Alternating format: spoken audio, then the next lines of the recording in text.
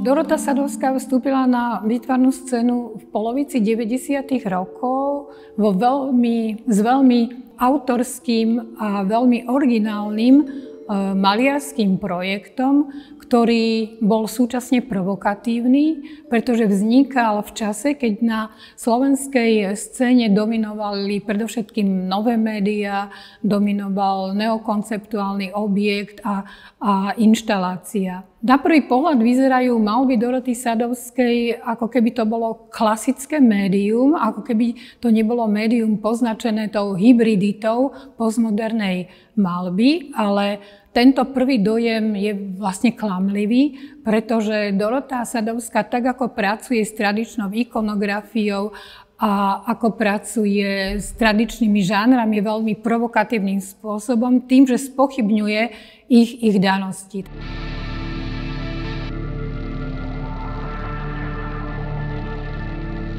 Postava svätého Sebastiana eh, bola zaujímavá aj po stránke maliarskej, klasická postava svätého Sebastiana je vlastne vertikála, do ktorej sú horizontály, teda tie šípy.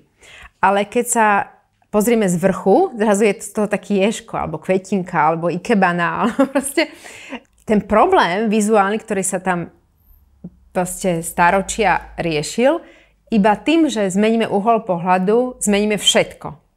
A vlastne celé, celé to, ten, ten uhol pohľadu vlastne tým, že bol na strope, tak tým robil ako keby také zrkadlo k divákovi. Hej, tam bola tá fyzická rovina s divákom. Svetý Sebastian a Sveta Lucia boli aj súčasťou Bienale v Benátkach eh, v roku 1999, kedy v pavilóne si mohli dať návštevníci vytentovať slovenské umenie zadarmo.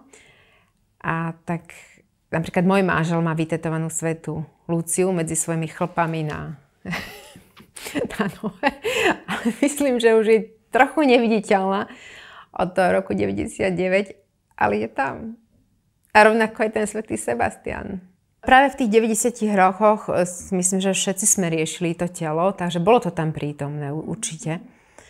A je, je to také označkovanie, e, keď, e, keď vlastne podľa návrhu niekto urobí tetovač ku niekomu konkrétne do kože. A, a tá telesnosť toho svetého sa vlastne stane telesnosťou konkrétneho živého človeka. No. Ak by sa mala priradiť k tvorbe Doroty Sadovskej jediný atribút, rozhodla by som sa pre, pre telesnosť v jej takej mnohovýznamovej e, funkcii vrátane istej, istej ambivalencie. Na prvom mieste sú vlastne jej malby, kde sú zobrazené nahé ľudské tela, ktoré sa ale transformujú do podôb svetcov, svetíc, anielov. A napriek tomu, že sú zobrazené vlastne v takej tej svojej prírodzenej nahote, sú vlastne od, odhmotnené, ako keby na nich neplatili zákony zemskej príťažlivosti. Pretože predobrazom týchto malieb sú konkrétni ľudia, ženy a muži, telesnosť tu vystupuje ako isté rozhranie medzi fotografiou, ktorá zachytáva konkrétne podoby týchto ľudí a malbou, ktorá ich prepisuje do symbolickej roviny. Takže tá telesnosť je hranica medzi individuálnym a obecným, medzi konkrétnym a symbolickým, medzi materiálnym a duchovným.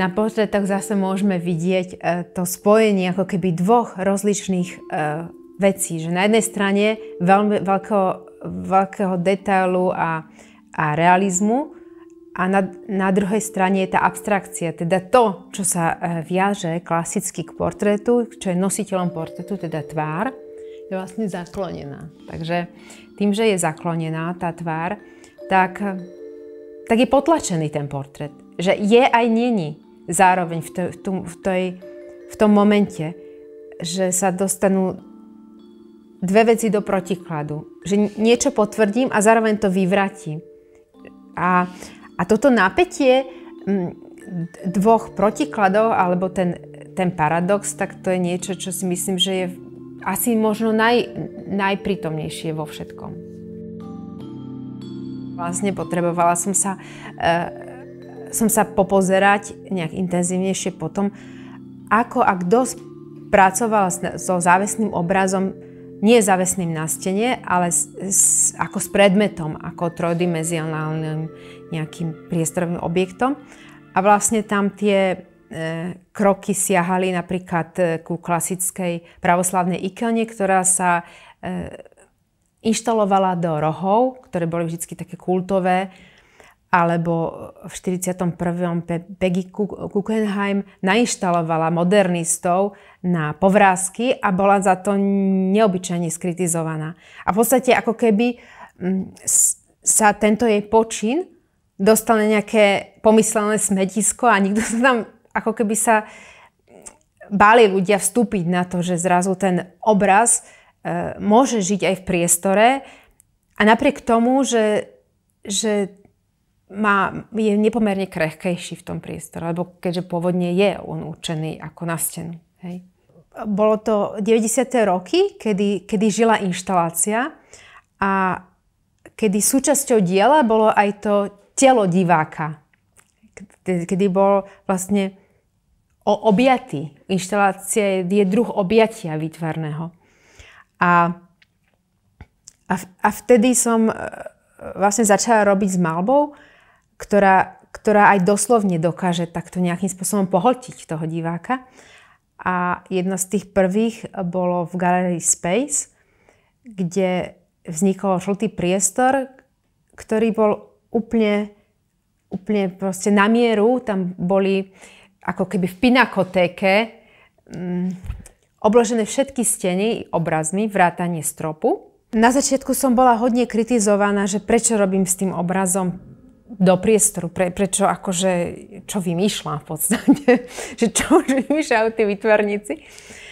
Ale ja som ho naozaj prežívala ako, ako sochu a prežívam ho doteraz ako objekt, ako inštaláciu a prežívam to, to fyzično v inštalácii, prežívam fyzično nie len namalované, ale fyzično vzhľadom k divákovi.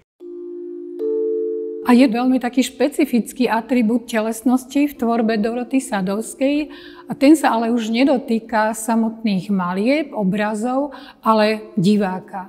Divák vťahovaný do jej umne konštruovaných maliarských inštalácií sa mení z pasívneho pozorovateľa, ktorý stojí pred obrazom, na diváka, ktorý sa pohybuje priestorom, kde sú malby zvesené zo steny, vysia zo stropu v rôznych zorných úhloch alebo sú k divákovi otočené rubovou stranou a v tomto prostredí divák sa nielen díva, ale zrazu si uvedomuje svoje vlastné telo, čiže tú svoju vlastnú, vlastnú telesnosť. Ďalší taký špecifický aspekt e, tejto telesnosti v tvorbe Doroty Sadovskej je paradoxný, pretože hovoríme o telesnosti, kde absentuje samotné telo. Dorota Sadovská vlastne veľmi často pracuje akoby s povrchom tela, de facto s pokožkou tela, ktorá sa stáva vlastne akoby maliarským plátnom,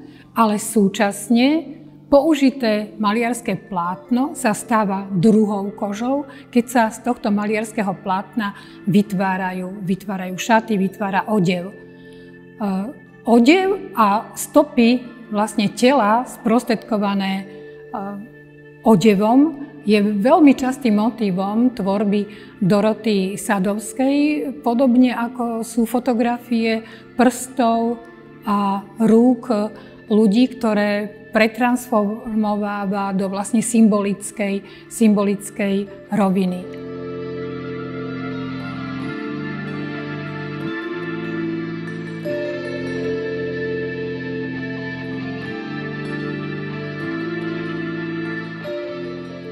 Prsty sú, majú tú schopnosť, že sa môžu dotýkať.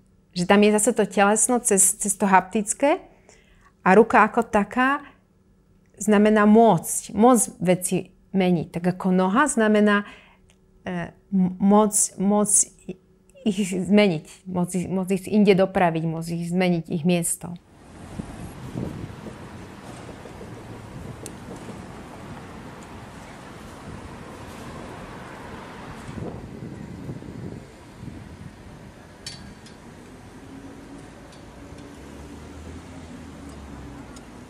Vo video dážď vlastne používam takú staršiu inštaláciu fotografickú, kedy som celú stenu vlastne nechala tak zapršať rozličnými prstami. Sú tam prsty aj nielen žien, aj mužov, ale aj starých ľudí a detí.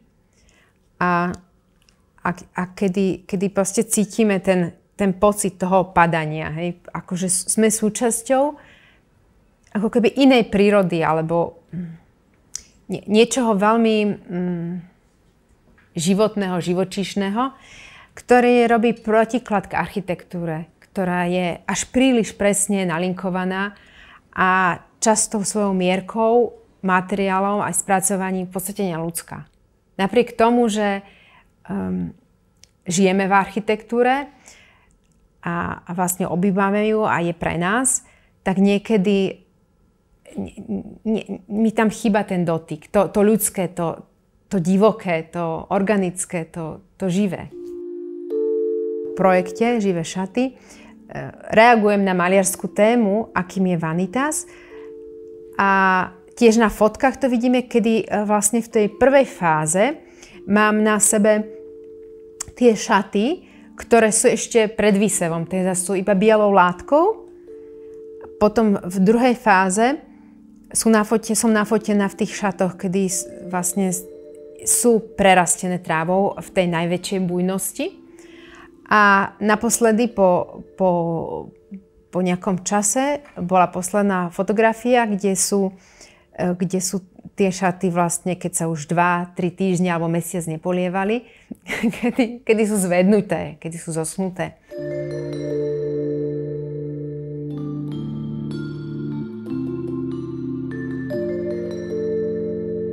Jeden z najnovších projektov, keď som bola pozvaná vstúpiť do živého sakrálneho priestoru a som si povedala, že tak budem robiť s ľuďmi. Nebudem, ro- budem, lebo to, to je najsilnejšie na tomto mieste. A som im povedala, že aby donesli biele veci, čo majú doma použité. To je všetky biele textílie, ktoré vlastne majú ten ich dotyk, ich, ich domácnosti, teda aj plachty, uteráky, a s jakým nadšením vlastne e, sme dali dokopy tri pásy a vlastne celý, celý, celý ten predný priestor sa zmenil. Iba, iba na bielo, ako keby som si tú bielu tam urobila. On sa volá Byť blízko. A nastala pandémia. Len sme to tam zavesili, to bolo 26. februára. Vlastne to sa vždycky dáva ako na post, na popolcovú stredu.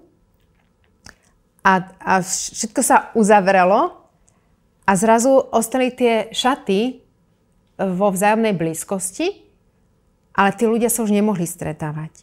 Oni tam boli miesto nich a, a stali sa znakom tej doby.